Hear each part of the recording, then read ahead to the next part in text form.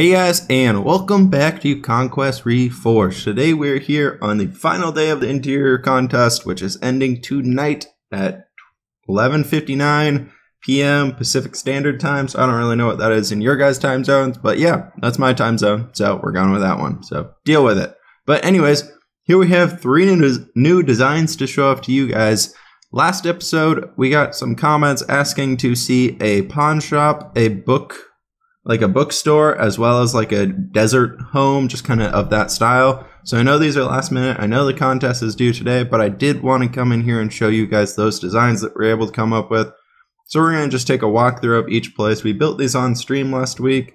If you guys want to go follow over there for to see those kind of being built live, go for it. All the replays, I've decided to leave replays and whatnot over on Twitch itself, so we can just kind of leave that there and keep it separate, but kind of still connected yeah. But anyways, those links are down in the description before I just talk about myself and how you guys should follow me more. Let's get into it. So here we have our bookshelf or book bookstore. Sorry, and I decided for this one to try and go with more of a theme of where you can come in, you can lounge around, you can peruse the books, you can read them, and then when you want to, finally, you can go ahead and make a purchase instead of like that classic bookstore where there's just like the table going straight across there. You can't get behind there unless you want to see the book from the bookseller and everything. So I figured whoever is working in the bookstore would sit over here in this chair. They got that little whatever open book and ink pot uh, right there where they can be selling all their books and recording which is going out. Some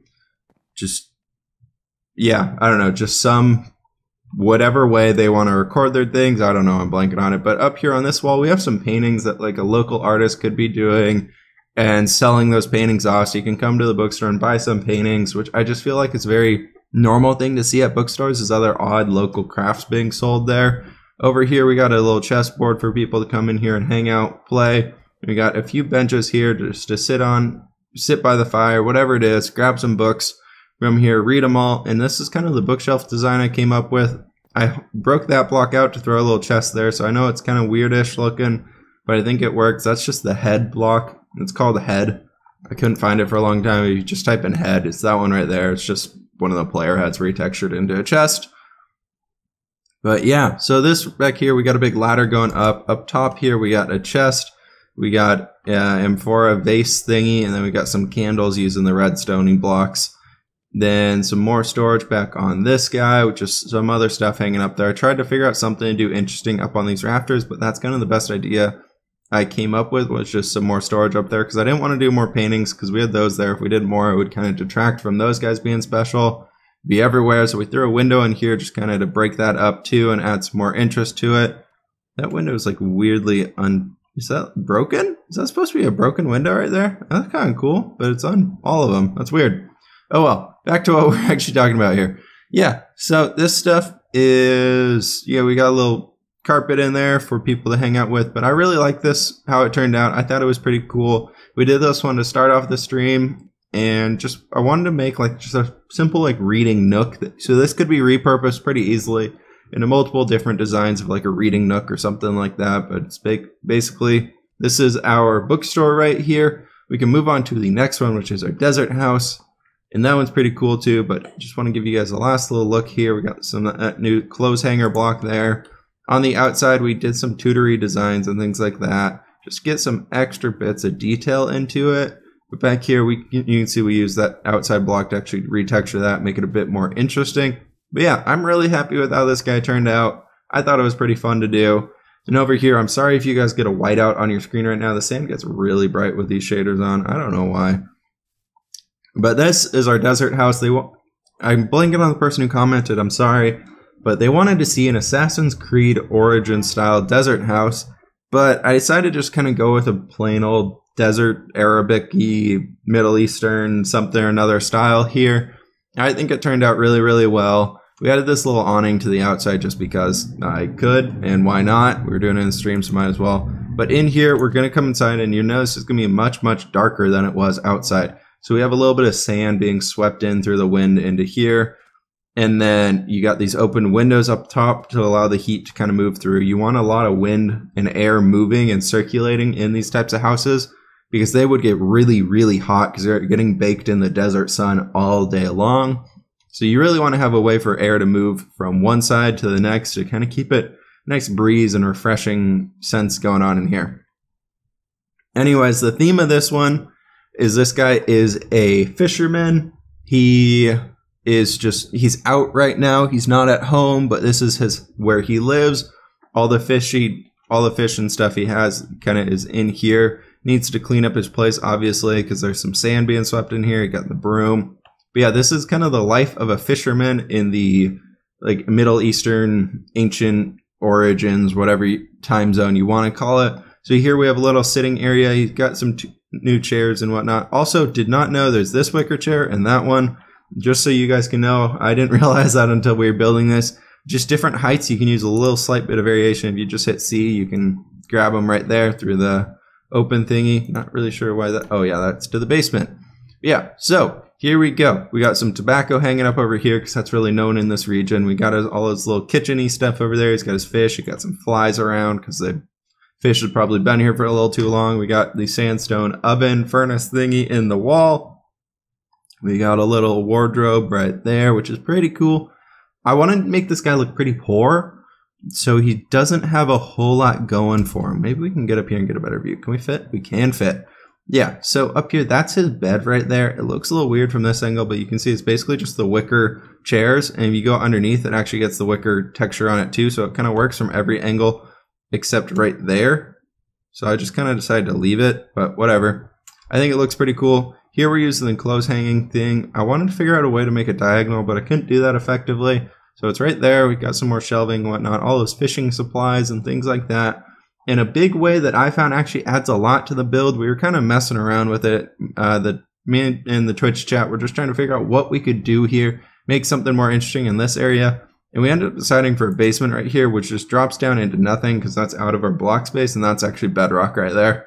So we can't go anything below that. But yeah, so that's kind of how we decided to go with it. Oh, there's little bits of green on that. I didn't realize that. That's kind of cool. They're all like mossy and algae growth and whatnot on them. That's really interesting.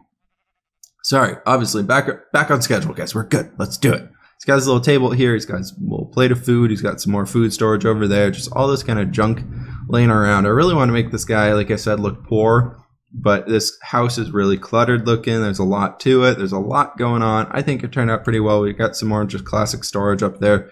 Really using wicker baskets here because I feel like that's the materials he would have in the area.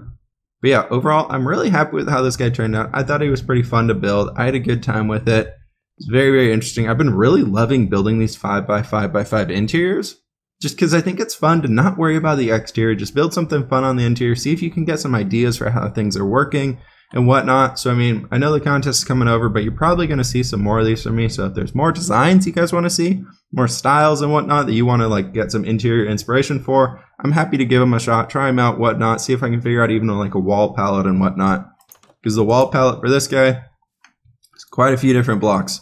We got a regular sandstone cobble, we got regular sandstone, we got the large sandstone slab, and we got the sandstone brick in here. So, you know, there's a lot going on with it it'd be kind of interesting for you guys to actually like figure or test some more palettes out. And what I think is very, um, what you call it, deserty or for this style is to have some sort of like a strip of a specific block. Usually something colored going around this top, kind of just giving that a bit more detail. For this one, I decided to go with a plane.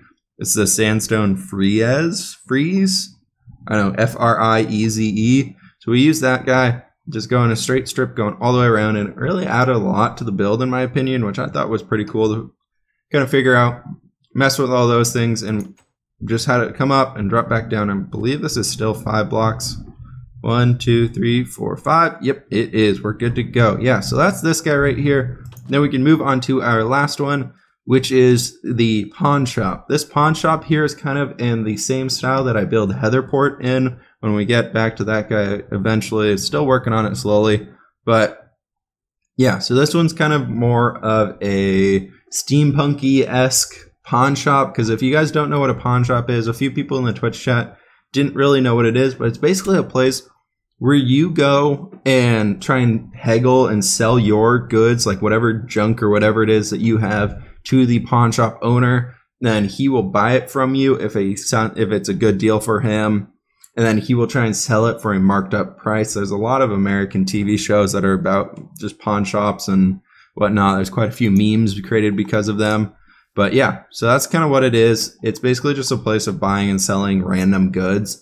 So that was kind of fun to work with and get ideas for how it's going to work. So we can go ahead and go inside here. Entering into this area, you can see we're coming into this downstairs area. I wanted to have it lead up to a second floor just because I felt like that was an interesting way of changing things up from the other designs we've had and a very gradual staircase here instead of the other ones are just very strict. So this guy though, it's pretty simple. It's basically just a big table right here where all the haggling would be going across right there. Get your scales weighing the gold and whatnot so it can all be accurate because the pawn shop owner doesn't want to get screwed. He really wants to be making the profit here. You if you're selling goods to a pawn shop, you're not going to come out of it with a good profit. Basically, just don't do it unless you just want to get rid of it instantly. Try like Craigslist or some online service for selling your goods, you know, IRL tips with Whip.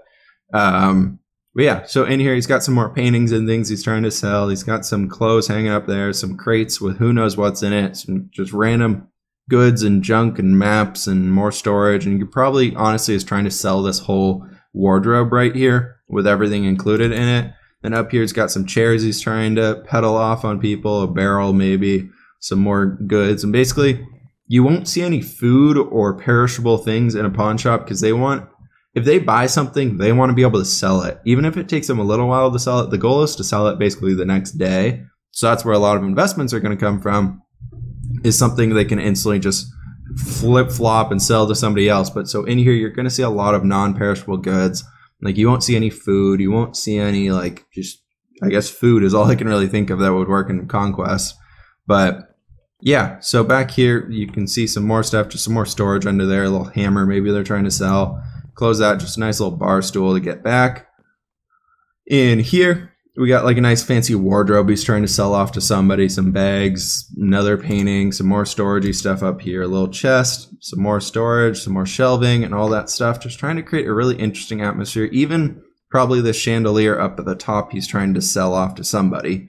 But yeah, so this staircase just goes up here and goes off into nothingness. So I closed it off up there. But yeah, so that's pretty much the three designs. We had the bookstore, the sandstone house, and then the Pawn shop. Yep, that's the word for it.